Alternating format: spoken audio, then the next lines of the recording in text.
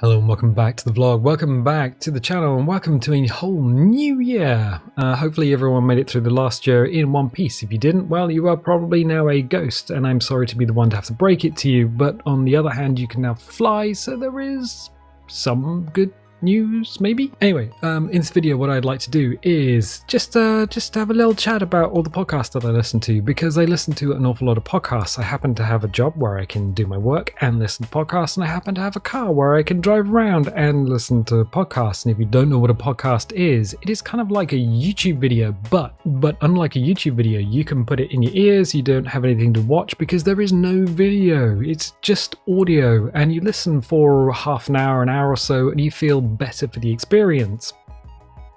Now, there is something that I'd like to do uh, before that. I'd like to just um, insert something at the beginning of the video, and that is that there is going to be a change in YouTube's policy. So, YouTube are changing their policy from this year, which means going forward, they can, especially on channels like this, where there is no option for monetization. So, I can't put adverts on my videos and get paid for it. But YouTube are going to be doing that. They're going to be putting adverts on small channels like this, and they're going to be taking 100% of the revenue and putting it back into hosting and services, I guess. Um, on one hand, it kind of sucks because I do like having videos with no advertising on them, but on the other hand, I kind of understand YouTube is a free platform for creators like me to upload a frankly astonishing number of gigasquaggles of information and hosting and serving all of that does cost money. So yeah on one hand i understand. On the other hand fair warning there's probably going to be adverts at some point and just know that i'm not getting paid for them. Okay cool. Well that was a thing. Moving on back to the podcast moving back to the podcast but moving on with the video. There's the things that are happening. I have to write them down otherwise I'll just get lost. I'll start talking about things like pictures of the Queen, like Queen Victoria, the best queen, the only queen, but a tiny picture that you know that you could put in your wallet. I'm getting distracted. Okay, cool. So, uh, in no particular order, podcasts. Um, Mission to Zyxx. Mission to Zyxx is a sci fi comedy podcast with the production values and sound mix of a BBC radio play. And I mean that in, in a positive way, a positive light. I, I, can't, I can't tell you how brilliant this podcast actually is. Uh, if you only listen to one podcast, this should be it. Um, and although it's improvised, it is hard to tell that it's not all been planned out like some massive novel. Uh, I have some text from their website. Mission to Zyxx is created and performed by improvisers who met at the Upright Citizens Brigade Theatre in New York City. I've never been to New York, but I'm sure it's a lovely place. Uh, it features Jeremy, Jeremy Bent, Alden Ford, Allie Kokesh, Seth Lind, Winston Noel, and Moujan, Zul- Moujan Zolfaghari. Why did I stumble on that? I have never stumbled on that name uh, before. Uh, with recording and sound design and mixed by Shane O'Connell. Um, yeah, so basically these guys all get together, they improvise uh, an episode, and each episode features a special guest comedian who plays an inhabitant of the Zyxx Quadrant, unlucky enough to encounter our crew. Episodes are fully improvised and lovingly edited and sound designed. Um, basically, if you feel that there is not enough sci-fi in the world and you need a really robust um, sci-fi comedy in your life, then Mission to Zyxx is it. And it is it is at the first, it's the, my tippity top of podcasts to check every week to make sure there isn't a new episode out. Um, following on from that, Hello from the Magic Tavern. Uh, Hello from the Magic Tavern and Mission to Zyxx are kind of on similar lines. I think Hello from the Magic Tavern came out first, and they use um, they use sound mix and design to make the world come alive. And Mission to Zyxx said, "Oh, we'd like some of that," so they used it, and they they use uh, sound design to make their world come alive. And then the the advances in that podcast bounce back into Hello from the Magic Tavern. Are you still following? Um, Hello from the Magic Tavern is an improvised comedy podcast set in the fantasy world of Foon. The first seasons take place in a tavern called the Vermilion Minotaur in the town of Hogsface, while later seasons see the hosts leave the tavern to explore the world. Uh, this is another podcast that uses a lot of sound design to make the world come alive, and it features Arnie Niekamp, who fell through a portal into the magical world of Foon. Chunt, the talking badger slash shapeshifter, and Usidore, the blue wizard of the 12th realm of Ephysium, master of light and shadow, manipulator of magical delights, devourer of chaos, and that name goes on for a long time. It's actually one of the bits in the podcast. Um, it's been going on for several seasons, and it is very robust. is is great. If you're kind of into Dungeons and Dragons, uh, Hello from the Magic Tavern is definitely up your street. It is uh, up your alley. It is in your wheelhouse.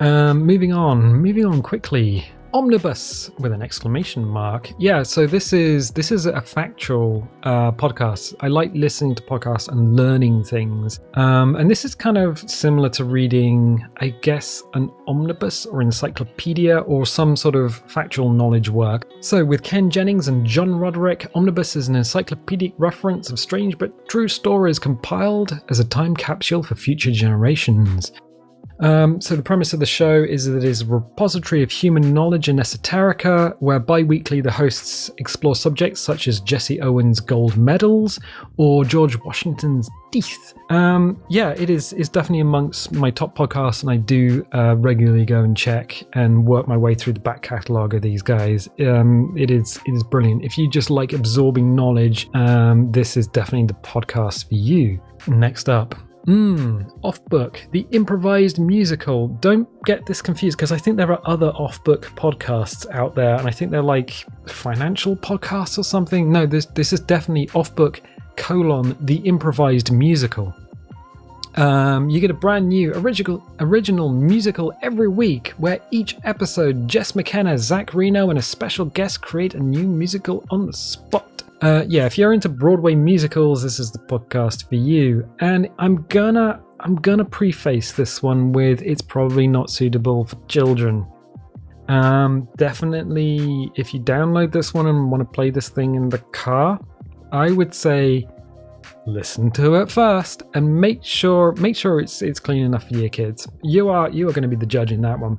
But in terms of quality, um, yeah, no, this is another really top quality podcast, really good sound mix and design. It is brilliant. It's hard to believe sometimes that these things are actually improvised. Um, Zach Reino and Jess McKenna, I mean, sometimes they get a guest that's not.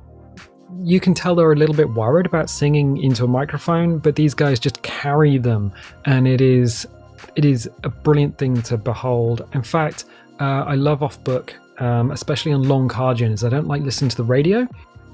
So what I'll do is I'll download a bunch of off-book uh, improvised musicals and then just listen to them as I'm driving along.